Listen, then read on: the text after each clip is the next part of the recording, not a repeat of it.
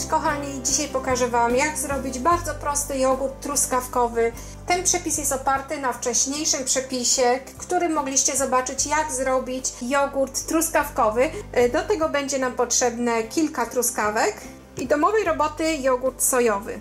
E, dla tych, którzy nie obejrzeli odcinka o tym, jak zrobić własny jogurt sojowy, to bardzo chętnie polecam, ponieważ przepis jest bardzo prosty i bardzo efektywny.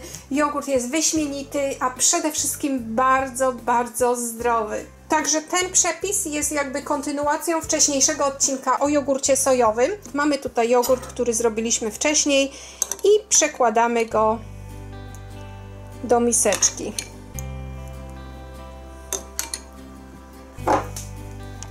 Kroimy truskawki.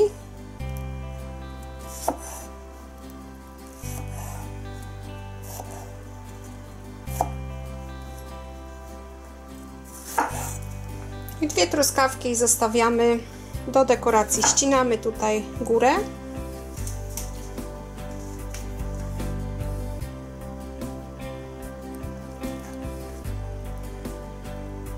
Pocięte truskawki mieszamy z jogurtem.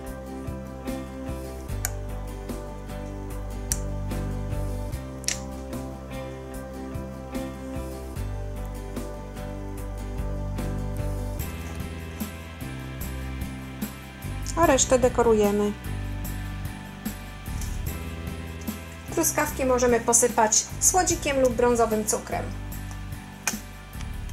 A teraz spróbujemy.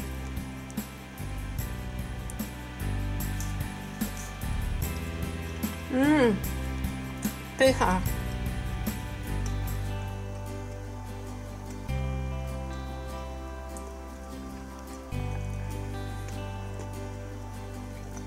Przepyszny.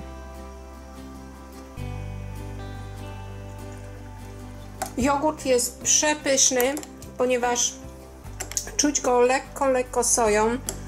Jest lekko kwaśny, bardzo kremowy. O naturalnym smaku truskawek. Po prostu przepyszny.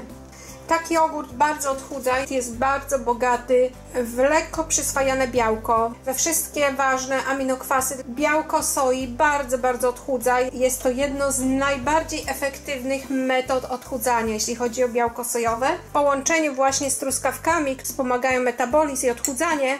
Ta kompozycja jest po prostu idealna, jeśli chodzi właśnie o przekąskę czy lekkie śniadanie z samego rana lub nawet na kolację, jeżeli nie chcemy się obiadać, a jesteśmy trochę głodni, śmiało możemy taki właśnie jogurt sojowy sobie spożyć. Jest to naprawdę świetny jogurt i bardzo gorąco polecam e, właśnie zapoznać się, jak łatwo można go samemu zrobić. Także to wszystko na dzisiaj. Dziękuję Wam za obejrzenie. Po więcej przepisów, ciekawych porad zapraszam do subskrypcji Diety Długowieczności. Wszystko na temat zdrowia. Dziękuję Wam bardzo i do usłyszenia. Pa, pa!